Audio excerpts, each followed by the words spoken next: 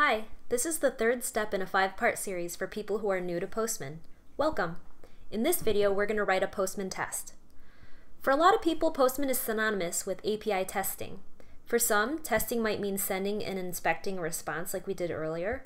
Testing might also mean writing assertions to make sure an endpoint is returning the correct responses. Testing can also mean replicating your actual workflow with realistic test cases. And at the most advanced levels, we're talking full-blown automation. Running test suites as part of your continuous integration and build process. I should also mention that writing test, Postman tests is a marketable skill. For a lot of testers and developers, testing their endpoints to make sure the correct responses are returned can save a lot of time in avoiding costly mistakes in production, and is frequently listed as a desired qualification in job postings. In this video, we'll get our feet wet and write a few simple Postman tests. Let's get started. Make sure you're not using the Postman Chrome app, which is deprecated. You should be using the packaged app for Mac, Windows, or Linux. For this series, I'm using the Postman standalone app for Mac OS X. I'm on version 6. Make sure you have a Postman account and you're logged in. For this example, we'll revisit a request that we set up earlier using the Google Maps geocoding API. This is the endpoint that geocodes a street address into geographic coordinates like longitude and latitude. Click the params button to expand the editor. Remember, we're using environment variables with the double curly braces syntax to access values stored in our local environment. And if we hit send, we can check out the response down below. Under the body tab, let's inspect the response body. We see a 200 response code, uh, the, two, the time it took to run the request, and so on.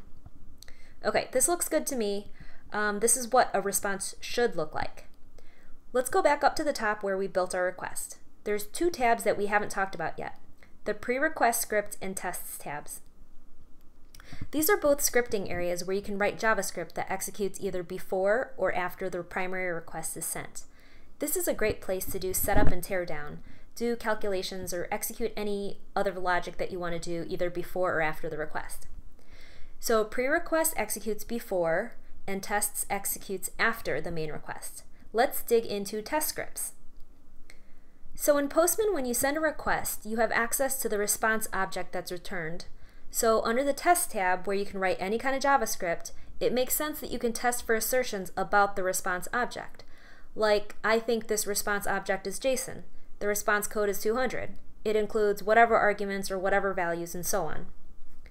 The easiest way to get started with writing tests in Postman is to look at the snippets on the right side of the test tab. Scroll down and click Status Code Code is 200. Clicking the snippet will append the JavaScript code into the editor. Let's take a closer look. This is a test in Postman. It uses Postman's pm.star API. You can see that the pm.test method takes two parameters. The first parameter is the name of the test. This should be something that's meaningful to you when it passes or fails. The second parameter is a function that will evaluate to true or false, resulting in a passing or failing test. Inside this function, you can see that we're using the good old pm.star API along with a syntax borrowed from chai.js. It's kind of pleasant to read. If you want to dig deeper into writing tests and assertions, look up the fluent chai syntax. So let's hit send, and on the bottom part with the response, you can see the result of this test. The function was evaluated as true, 200 response, so this test passed.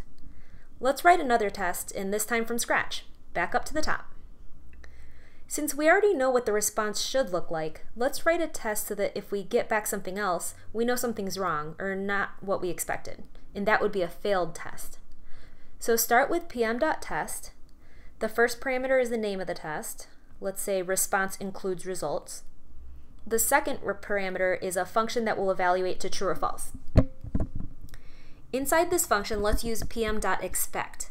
Let's expect that the response, or pm.response, um, and I want to parse the body as JSON, so add .json. And our response should include an array of results, so add to include keys. And the name of the key is results.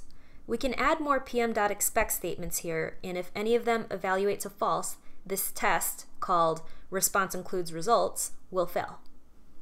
All right, hit send again. And now when we look at the bottom under test results, we can see two tests ran and both passed. If you find yourself using the same tests over and over again, Remember, you can also add a test to the entire collection or folder if you want the same test to run after every request in the collection or folder. At this point, we can take it further and parse the response to extract data and chain together this response to drive our next request. Keep watching to find out how. So we talked about the pre-request and test tabs as places for scripting using plain old vanilla JavaScript. We created a boilerplate test using one of the snippets in the sidebar. We wrote a test from scratch using the pm.star API, and then looked at the test results in the response viewer. Lastly, besides writing a test for a single request, you can add a test to a collection or folder so that it runs after every request in that collection or folder. Geez, that was a lot. Now's a good time to try it out on your own and make sure you're comfortable writing tests under the Test tab. Spend a few minutes on your own doing that, and then it's time to charge ahead.